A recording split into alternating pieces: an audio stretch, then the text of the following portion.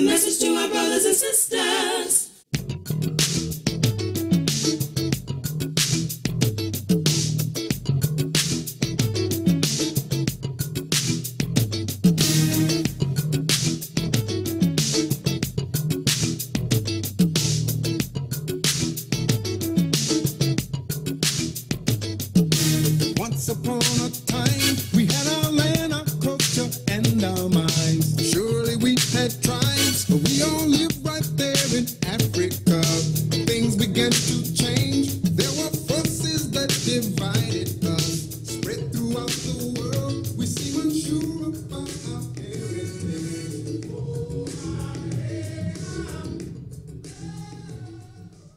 Alafia, I'm Dr. Gloria Lattimore Peace, host and producer of OmniU Presents the H3O Art of Life show.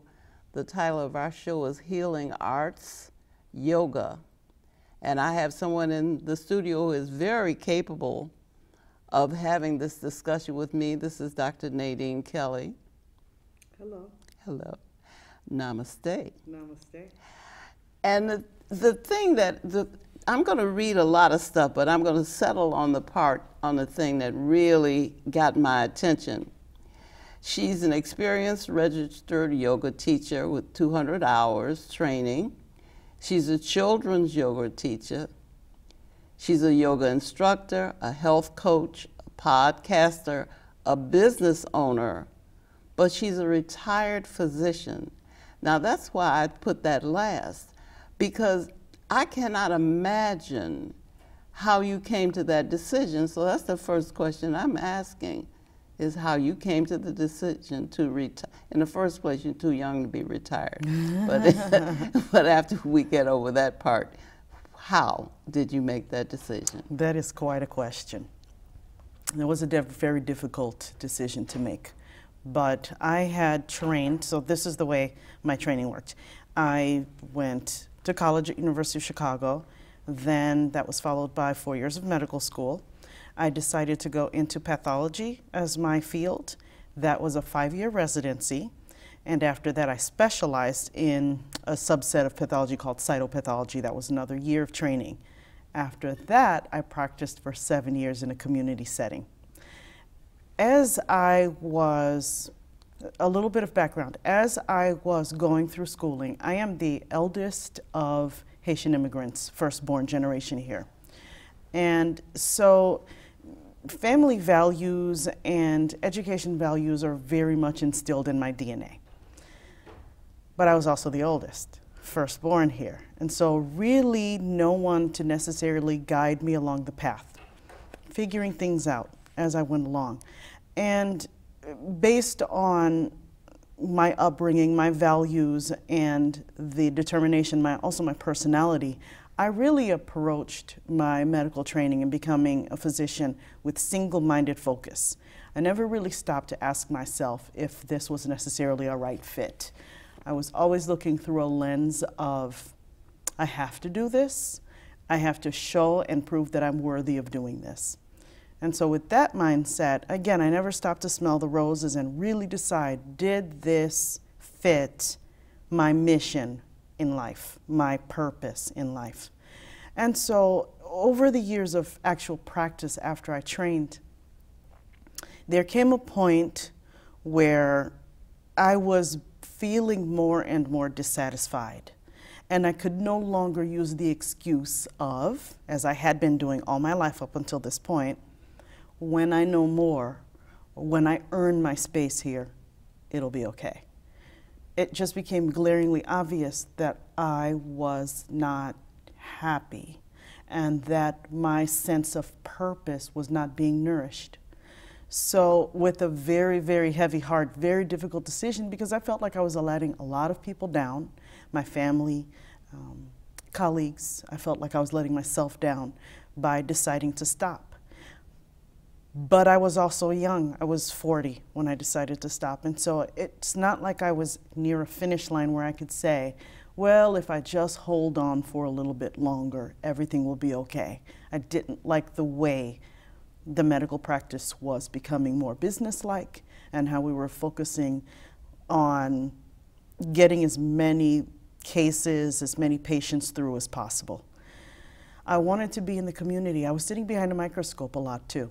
That was primarily what I did. A pathologist diagnoses diseases um, behind a microscope primarily. And being the type of person who wanted to be, feel like a part of the community, who wanted to see prevention and not just end results. The diagnosis a lot was, were things like cancer or a disorder, um, benign versus malignant, a problem. And while there's a lot of value in that, I just felt like it wasn't really the place I belonged. I craved to be in the more preventive atmosphere where I wanted to feel like I was helping a person face to face, touching another person, um, helping another person, um, enlightening another person, teaching another person, figure out ways to be healthy before getting to a doctor's office. All, all of that really combined with the fact that at the time I was practicing yoga myself. I did that because I needed to maintain my sanity while I was stressed out practicing medicine. And because my mother's a cancer survivor, we wound up, I introduced her to yoga as a healing modality to help her during her remission after cancer, to stay healthy, um, to connect mind, body, and spirit. And so that's how I started yoga, and then I continued to nurture myself. I'm also a martial artist, and that was also another mind body practice. So subconsciously, I was drawn to the mind body connection anyway in my personal life, and it wasn't manifesting itself in my career. So that's when I decided to stop. I had no idea what I was going to do when I stopped. Absolutely no clue. And that's when I walked into a yoga studio in my community that night because I wanted to deepen my practice to figure out what was next on my road. I wanted quiet, I wanted clarity to figure out how could I best feel of service. I'm a person who believes in service and community, and I didn't feel that that was being met again while I was practicing my medicine. It wasn't palatable to me. People said, well, why didn't you choose another field? It just wasn't palatable to me. I just described all the training I did. I was not going to go through another four, five, six year residency to go along another path. It just was no longer right. So I walked into the yoga studio. Halfway into the evening of yoga practice, I decided to go out and speak to someone about what I should do to practice more yoga for clarity. And they happened to have a teacher training program coming up. And so they said, Why don't you try that? And I said, You've got to be kidding.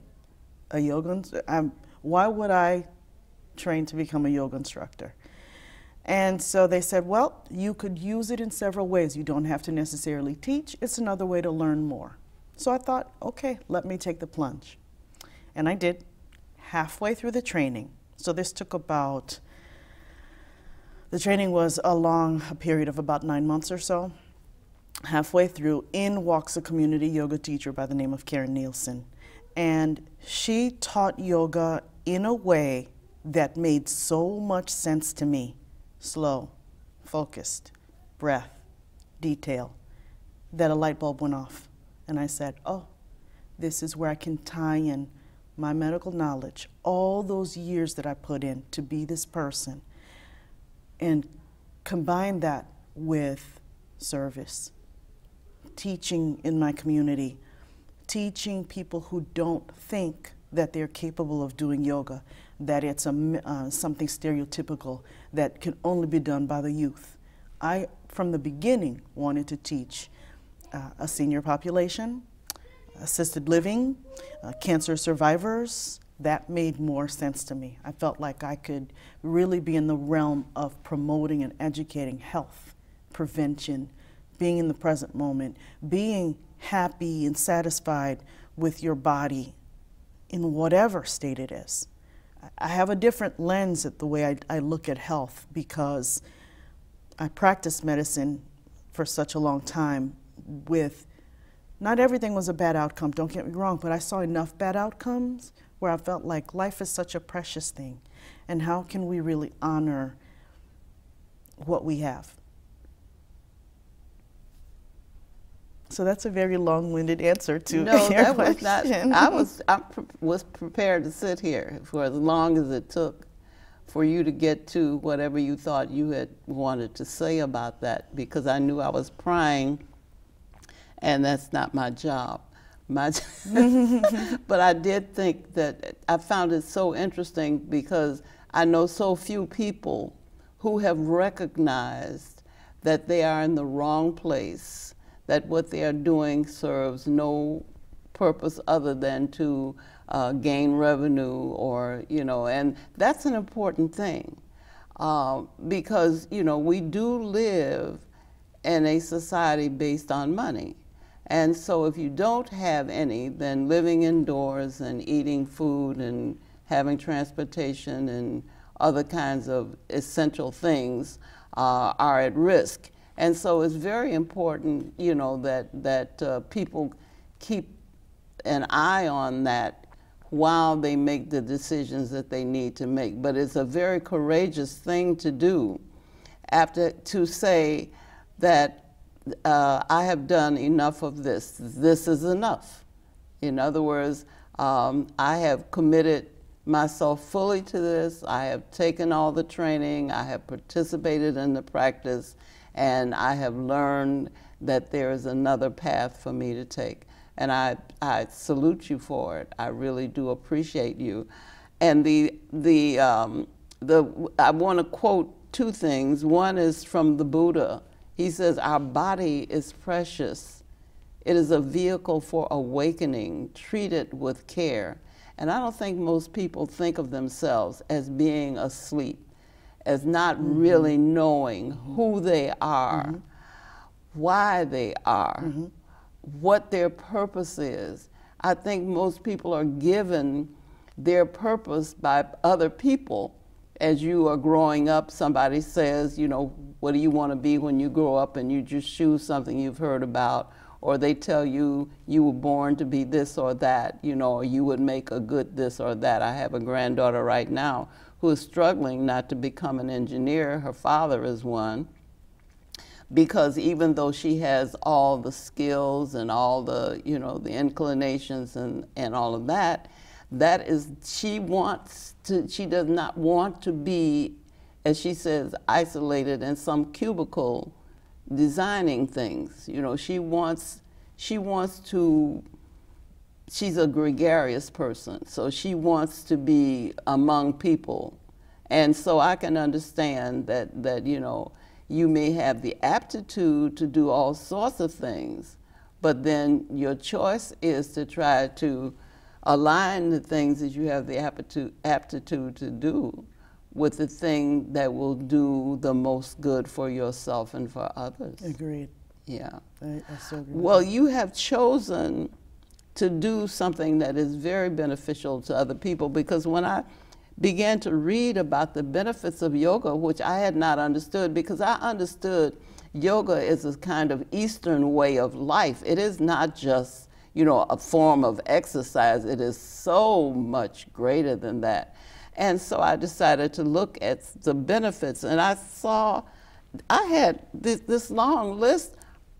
The benefits include steep sleep disturbances, arthritis, joint replacements, hypertension, scoliosis, multiple sclerosis, osteopenia, osteosclerosis, uh, anxiety, depression, COPD, asthma, cancer, chronic pain, and the list goes on. So that I think that your student who asked the question, how does yoga help with osteoporosis, asthma, arthritis sciatica? Mm -hmm. That question is the first question. How does yoga contribute to uh, or benefit these disorders. So it's not just the physical. Well, let's start at the physical, I should say. As you say, said very eloquently, yoga addresses more than your body. It's not simply a physical exercise. It is a benefit to your mind and it's a benefit to your spirit. It increases your self awareness. It does connect you more to who you are, why you are, what you are. So, physical conditions are benefited by yoga depending on the different poses. There are so many things that go into a practice. Well, first of all, you learn how to breathe correctly. And that sounds elementary, so like something you would take not for granted. To me because I know how difficult it is to breathe correctly. And if someone doesn't call your attention to how you're breathing and tell you to breathe, that automatic breathing is untrained and undisciplined. Very true. Very true. So you learn how to breathe. Good breath work relaxes you. It enhances your parasympathetic nervous system, um, putting you in the rest and digest phase versus your fight or flight response in the sympathetic when you're breathing too quickly or when you're caught up in anxiety. Slowing down, breathing carefully, breathing properly, using the proper muscles to breathe. Uh, many Americans breathe with the chest up in the chest way high, avoiding the abdominal area altogether. But the breath starts at the abdomen. When you're breathing correctly, when, when you're breathing deeply, slowly, consciously, in and out through your nose, it brings you a sense of calm. It brings you a sense of um, peace, stillness. You're from a place where you can respond and not simply quickly react unthinkingly to situations it allows for so many physiological benefits too. Like I said, the calming effect, um, the rest and digest, the parasympathetic system is toned with that. Um, the breathing capacity improves, your lung function improves. That helps your heart. Everything is connected. It lowers your heart rate, it lowers your blood pressure. Um, it lowers so that expands into other things, decreasing your anxiety, decreasing, decreasing your uh, any symptoms of depression. It also is a natural pain reliever, breath work. It's a way where you can feel like, again, you're responding and not reacting to a situation. I'll give you a good example of maybe not a medical condition, but scenarios that students have told me about. Uh, in which they've used the breathing techniques that we've learned in class. Both scenarios were medical tests. Not everybody is comfortable with an MRI or a CT scan. It's an enclosed space. It's scary. You're very nervous. You're very anxious because you're not there to have fun. You're there to figure out if something's right or something's wrong. So there's the anxiety, there's the social, the stress of not being sure what the um, outcome is going to be. There's discomfort with the procedure itself. And so people have told me that going into a, an MRI scanner, and um, I had another story regarding waiting for test results in a doctor's office, they used their breathing techniques. And they were able to be calm. And they were able to be still. And the time went by quickly. Um, and they were just able to cope better with there's acceptance too that comes along with that. There's that calm feeling of accepting whatever is going to happen, whether you deem it something that's very positive in your life or something that's very scary. Things that are out of your you you can't control everything. So, but taking charge of your breathing, taking charge of your physical response goes a long way. So that's just one small way that yoga helps medical conditions or coping with medical testing and things. The processes or the physical postures themselves promote muscle strength, endurance. They promote, I promote alignment, making sure your joints are aligned correctly. That helps pre uh, prevent muscle strains, that prevents um, back pain, that prevents pain from arthritis because the alignment is not correct. Um, when your head is not in the proper position, when your shoulders are not stacked over your hips, when your knees are not over your ankles, when your feet are not pointing straight ahead, you're causing one set of muscles to overcompensate while the other set of muscles are becoming weakened. They work together. As I keep saying, everything is connected. And so th those ways also help we work on our balance. We work on making the joints flexible and keeping the range of motion. As we grow older, the range of motion in our joints tends to decrease. And so you want to make sure that you keep moving your shoulder joints healthily, your knees, your hips, your ankles, things like that. So many ways, many, many ways. I, I don't know, and you may, whether or not this has anything to do exactly with yoga, but it does have something to do with breathing. Um, when I was going to have, um, that would have been, would that have been my seventh child? I think so.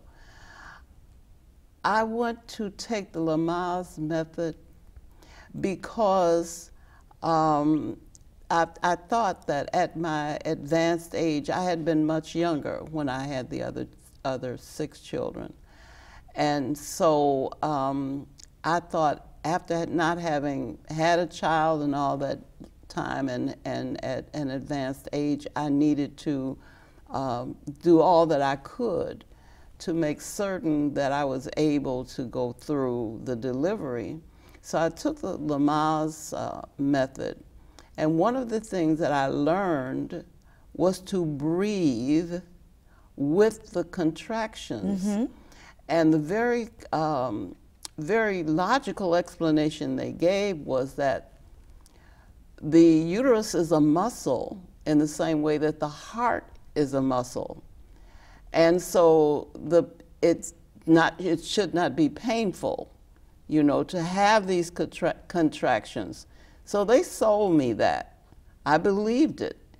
And so I was at the hospital in the war, in the delivery uh, room, uh, not in the delivery room, but in a, a, place expecting to go to the delivery room. And um, I was reading a book.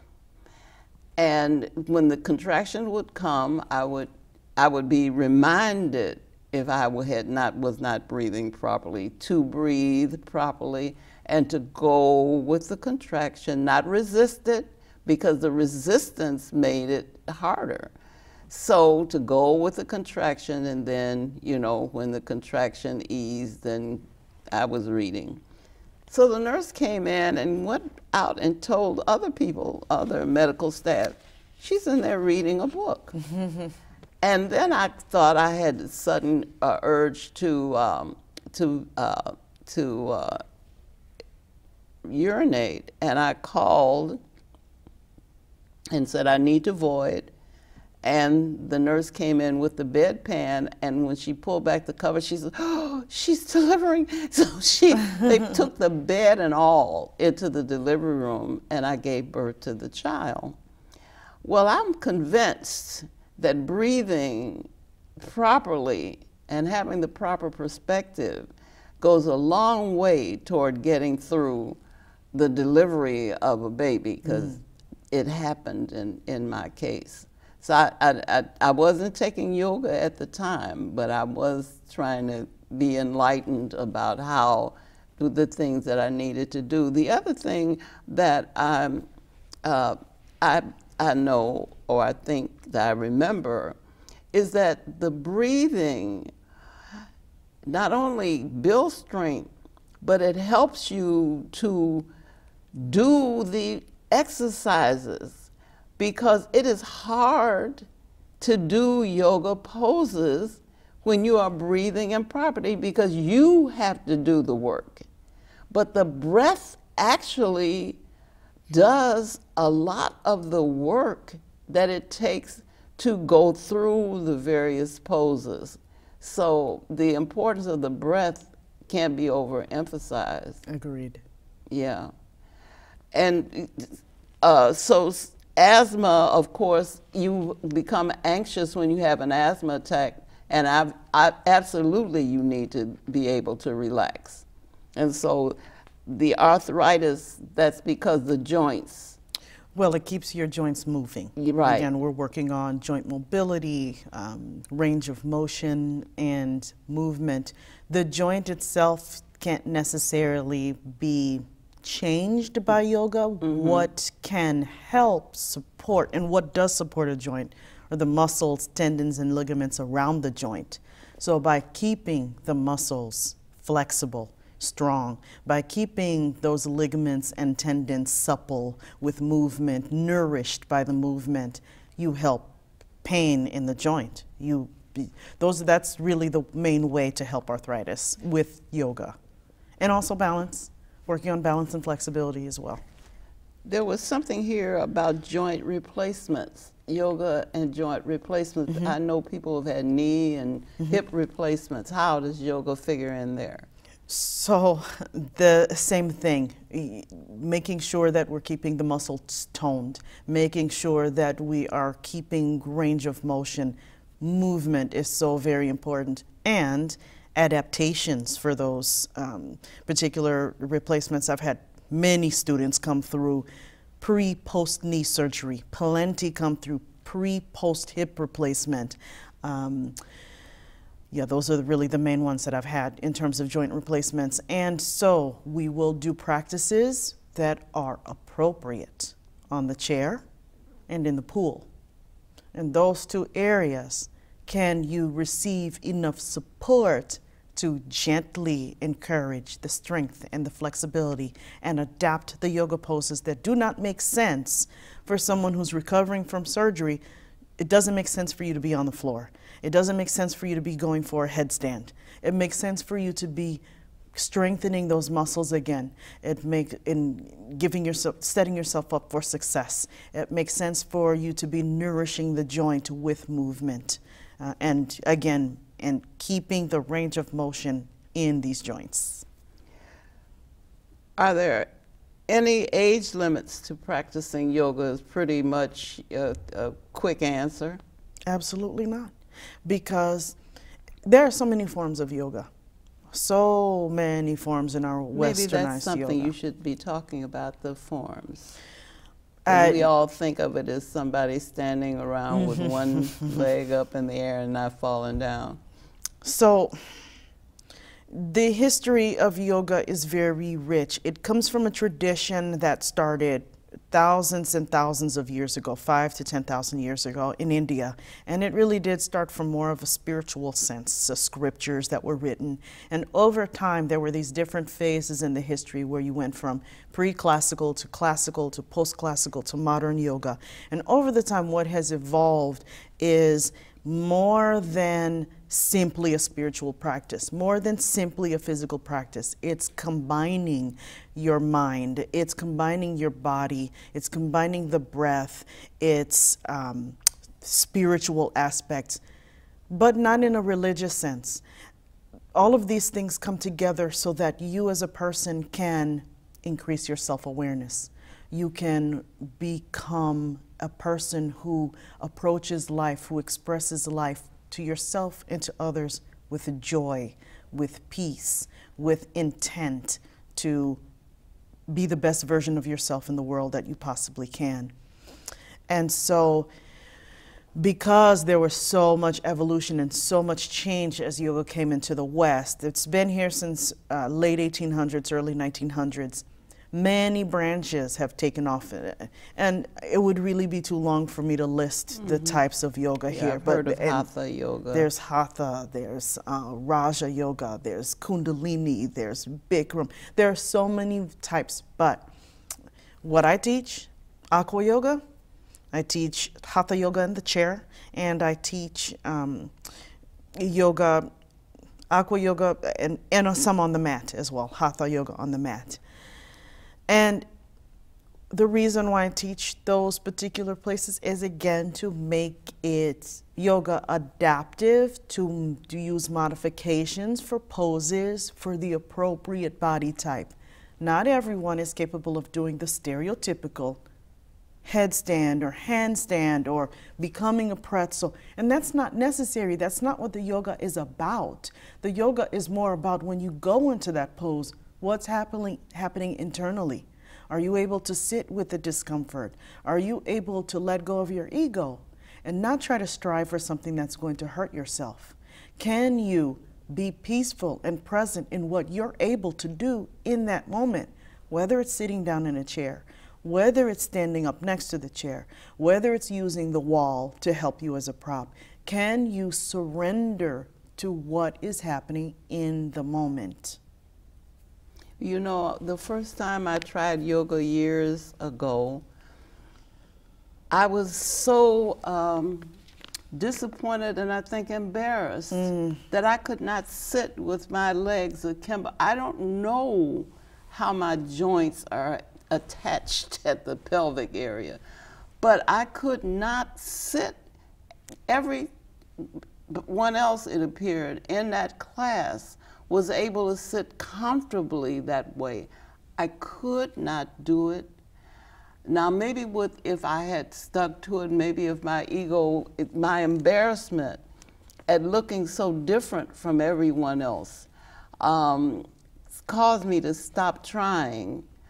Um, but the thing is that that when you say do what you can do without being concerned about how what you appear to be doing to other people because other people are not there to you it's not your show. You know you're not there to entertain them and they're not that's not why they came. Mm-hmm.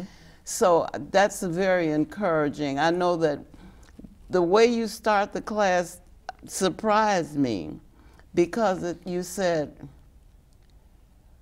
what is your intention and the first time you said that the intention that I came with was to be there by three o'clock when the class started. Just to be in the class on time and to do what you instructed us to do.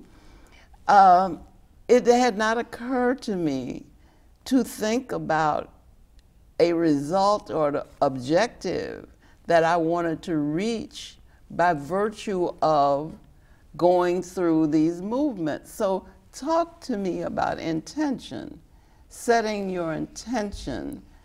That's a very good question, and it's an integral part of the yoga practice. Setting your intention, the breath work, the physical postures, and then making your way into relaxation or, or meditation, if you wish, um, towards the end of the class are all essential. Setting the intention is coming to class with purpose, coming to class with your whole self ready to be there.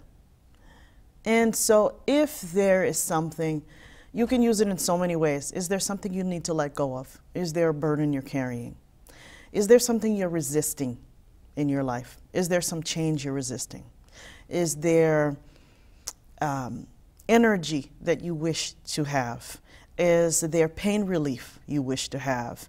Is there maybe an intention you want to set for someone else? You can do that as well. I wish maybe there's a friend or family member in your life who's undergoing difficult times.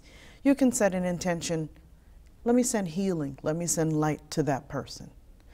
So you come into class with purpose because it's a it's time for yourself. It's time to enhance that connection. And when you start I have found that setting intentions become so powerful with the yoga practice. The yoga practice transcends the actual hour you're spending. If you really practice the yoga, it's a way of life. So the a very habit of setting intentions in yoga allows you to set intentions in other areas of your mm-hmm, life. Mm-hmm. I have found that to be very true. Mm-hmm. So that I can approach a difficult decision with intention. I'll be very honest. I was nervous about coming today. I was nervous about being on camera. And so I stopped and I said to myself, what is the source of your nerves? Why is this always your go to? And it's in a non judgmental way. That's also something I learned. You let go of judgment in yoga and you inquire. You, you're still and you inquire, what is the cause of my nerves?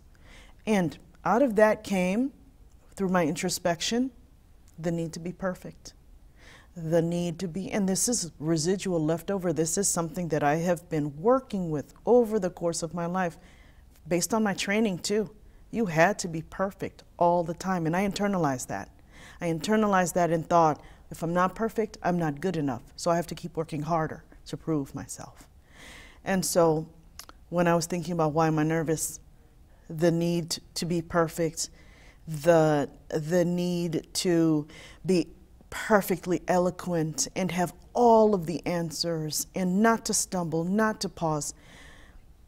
And then I said to myself, well, what if we could reframe the way we're looking at the nerves? What if we can look at that and shed a more positive light on it? Let go of the judgment. I should not feel nervous. It, it could have easily turned into, why am I doing that to myself? I shouldn't be nervous. It's so silly. But I quieted the, the voices and, of the berating and I said to myself, how can I how can I reframe this? How can I honor the fact, pay attention to? Yoga does that. With setting the intent, you pay attention. How can I honor? How can I look at the, that and say to myself, how can we make this positive? How can I make this positive?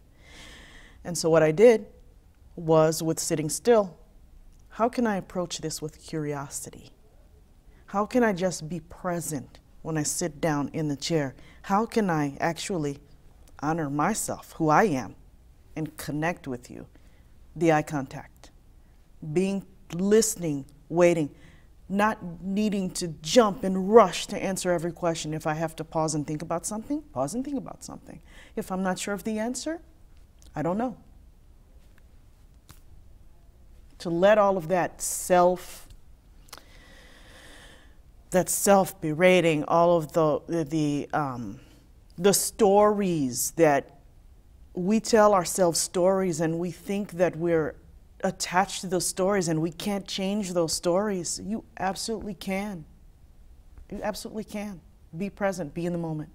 So that's a powerful way that I have found setting an intention in practice practicing that idea spills into not only does it keep you in the moment in the class, you can keep referring to it, but it also, if you want the gift, you can use it in your life. You know, you have helped me tremendously with that answer because, as the host and producer of a television show, I want this to be an interesting show. I want it to be the kind of show that I would watch, I would watch myself if I were out in the viewing audience. Uh, I, I have a mission.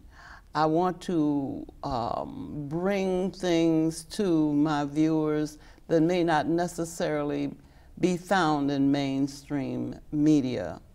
Um, it, it, one catchphrase is, I want to serve the underserved. Mm. Um, but the thing, and I also want to be perfect in the sense that I want to take advantage of the opportunity to get the most benefit out of an interview that I can get and to bring the most insight to the interview that I can bring with the result that sometimes I actually um, have uh, sleep interruptions because I am thinking so hard. And I tell myself during those times that I need to stop doing that because whatever it is I need always comes. You know, I may be sitting in cable casting, entering a show into the schedule when the title of the show will come to me. And I had not uh, been able to think of a title because I could, I always like to frame the show, as you say, reframe. Mm -hmm. I always mm-hmm. like to frame a show. And I could not think of how to frame the show because I could not get a handle on what it was that I wanted to come out with the intention. I couldn't set the intention. Uh, aside from giving um, a, a platform or a forum for expression to an issue that I think really needs public uh, scrutiny. So I, to say all that is that I went through the unnecessary, as you say, the nerves. I went through the unnecessary discomfort of concerning myself about things that really weren't my business because mm. if you select the right guest, you have nothing to do but have a conversation. Because you don't have to know everything. And you can stumble and you can make, you know, you can hesitate and you can not know the answer and you can not have the word that it precisely expresses that you what you want to express at a given moment. You know, you're human, you can be fallible and make errors or whatever. Uh, and the world is not going to end. But uh, so to have you say that, you know, to have, for me to have greater compassion for mm-hmm. my own self mm-hmm. and not to beat myself up mm-hmm. when I don't think I have prepared enough after almost 25 years of do- doing this show, I am probably as prepared as I'm going to get. so so I, I, I think that, you know, I, I couldn't imagine why you should feel any trepidation about it at all because I knew you knew everything that I wanted to ask you. and all I wanted to do was get you in here so I could ask you uh, these, these um, questions. The, one of the questions is how does yoga help balance? Because, you know, older people more often than others tend to fall you know, sometimes because they're not paying attention to where they're going, or sometimes because they lose their balance. Mm-hmm. So, how does yoga help with balance? So, first of all, knowing that as we age, it is very normal to lose balance because there are many components that go into providing balance in your body. First of all, your eyesight, very necessary. The inner ear is very important for balance. Uh, your muscles, your joints, your sensory um, system, so touch, pressure under your feet. Um, given all all of those work together, sending information to your brain. Where's my body in space? And then the response is how your brain then sends messages to your muscles how to um, react. And so, with time, all of these systems, just like everything else, because the aging process is normal, everything has wear and tear. The eyesight changes, the inner ear workings change, your muscle endurance, muscle strength naturally diminishes with age. Now, we can stop the progression of that, and that's where I'll get into the, the how yoga helps. Um, your nervous system doesn't work as efficiently anymore. Think of uh, cable, wire, electricity, okay? What if that starts to become frayed or worn with time? Well, the transmission, the communication is not going to be as fast or as efficient. So, being armed with the knowledge, first of all, that from a point of acceptance, okay, my body is not that of a 20 year old. That in and of itself is magic for yourself because you've acknowledged that I have to show some respect to the body that I have right now. And that means there are certain things that I need to be more aware of. There are going to be common sense precautions to take, making sure your eyesight is the best it can be, being aware of your surroundings, getting rid of things that might be hazardous, that are unnecessary in your way, clutter, things in your path, cables, um, wearing good shoes, knowing what you're, if you have um, issues that affect any of those systems that I just mentioned. So, like if you're diabetic, if you're a person who's undergoing treatment, like a lot of my cancer um, rehabilitation students are, the, the chemotherapy and the radiation change your body in ways that a lot of people don't know about. And so that affects your balance. Not getting things that we necessarily don't think about. You got to make sure you get enough sleep. Otherwise, you're not as alert and you're more prone to falling. You have to make sure that you're eating the correct foods, that you're eating a, a, whole balanced diet. You're getting the sunlight that you need for strong bones and strong muscles. The exercise is very important. And so we come to yoga. So, how does yoga help? Because we work on balance training. We work on specific postures that may only use one leg at a time And alignment. and alignment that oh, and awareness where's my i my classes as you know we go slowly because the purpose of that is to be intentional so that you do when you're out doing something else when you're grocery shopping when you're getting in and out of your car when you're coming to getting out of your bed in the morning even when you're taking stairs where is my body? Let me pause. What's going on? Can I feel the surface under my feet? Is there a railing I can hold on, hold on to? Am I using the correct muscles? When I need to reach for something on the floor, am I thinking about it or am I recruiting big muscles appropriately to squat properly, to pick that thing up slowly, carefully, mindfully? So the yoga teaches the mindfulness and the approach to paying attention to how you do activities of daily life. That's what we're doing in order to live. I just want you to know three minutes is what you have to go to the next thing if you want to go to anything else. Because you were saying you were going to get into after you got through talking about balance and alignment. So is there something you wanted to get in? Um, I do want to talk about the podcast a little bit in the Go health ahead. coaching.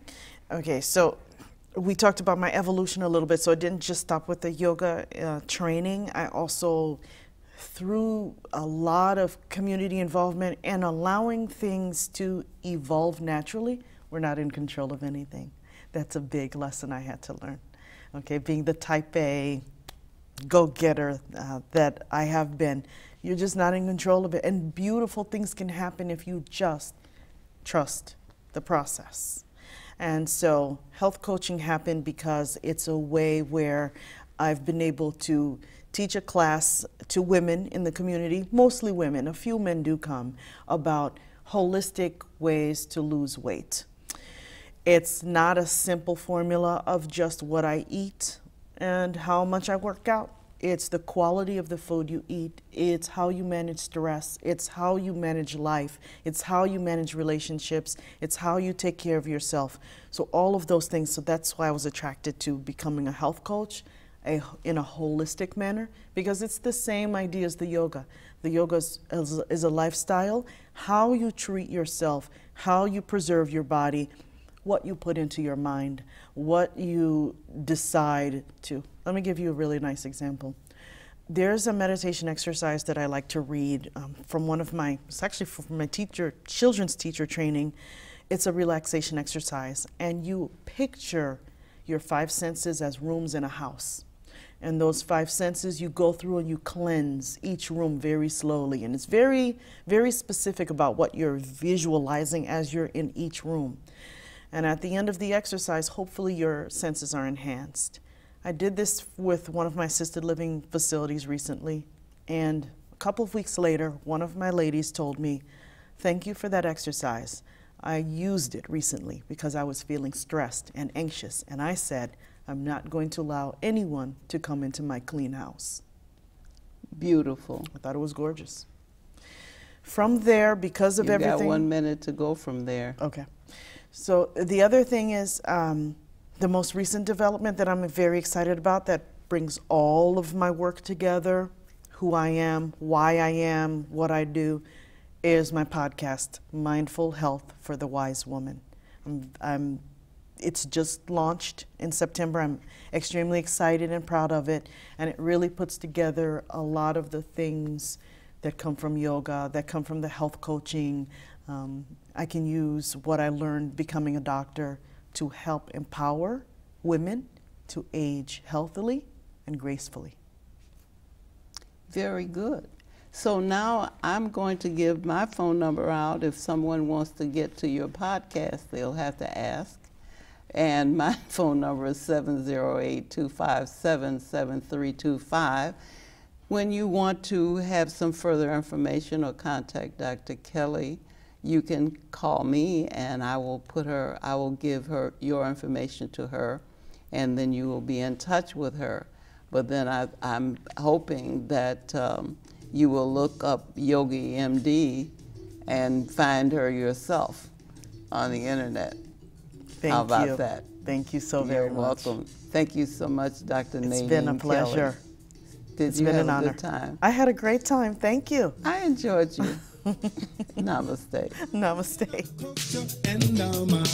Surely we had but we all live right there in Africa. Things began to change.